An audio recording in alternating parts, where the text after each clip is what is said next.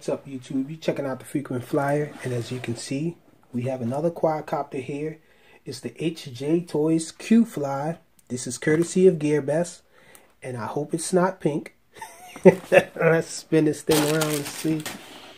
There is a, another color, possible color, black and yellow. So we're hoping for black and yellow in this thing. And we got the blue alien on deck. He's it for this. Okay, let's slide this out.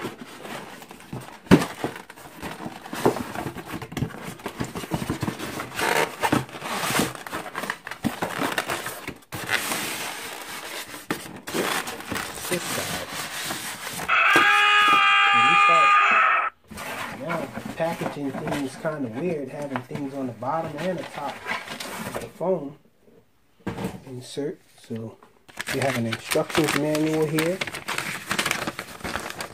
The model name is the W606-6. So get the transmitter out the bottom before it falls and wow, this transmitter isn't half bad. So we got a button here. We got some switches on there. We got headless on and off. Auto return on and off.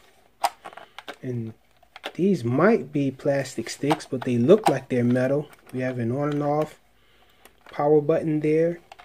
Some buttons here. Trim buttons. Okay, enough with the transmitter. Let's check out the quad. And we have the pink one, as you can see. great. We have the pink one. Frequent flyers flying a girly quad. So we have a, a screwdriver here. USB charging cable there. So we got some pink prop guards there. Extra set of spare props here. And finally, the quad is free. So, funny looking quad. This is definitely going to my daughter. Piece of foam on there. So let's see, we have the battery in here in the back. Little battery hatch. Let's pull the battery out and check it out.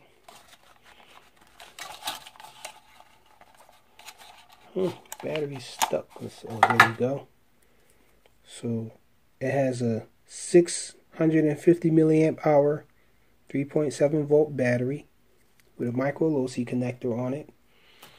And this thing looks cute, man.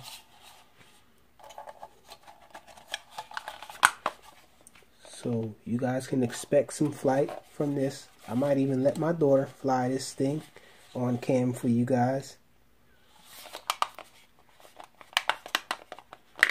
Oh wow. The top, the whole top canopy is an on and off button. You press this thing in. Turn it off and on. Let's check it out and see if it have any lights.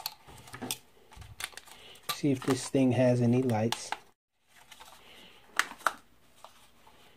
Okay, we got red in the front. You got it backwards and green in the rear. so you guys can expect some flight from this coming up and ultimately a quick review or full review for this.